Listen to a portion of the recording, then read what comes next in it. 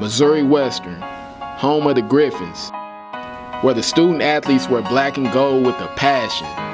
There's quite a few reasons to become a Griffon, but I'm going to lay down a few on why you should make Missouri Western your home.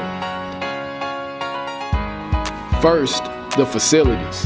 Missouri Western purchased a $10.3 million indoor complex. It assists Griffon football, softball, baseball, and other Griffon sports. Also, let's not forget it's a summer training camp for the Chiefs. Not too many schools can say that. The indoor complex features a full-size football field, a built-in weight room, a training room that is equipped with a hot tub and a cold tub for recovery. Next up, we have Spratt Stadium. An estimated $7.8 million of improvements are being done to renovate the stadium, and 2.6 million will go to a new video board. Here's Spratt Stadium before, and here at Spratt Stadium afterwards. Now that we looked at a few of the facilities, let's check out the support here at Western.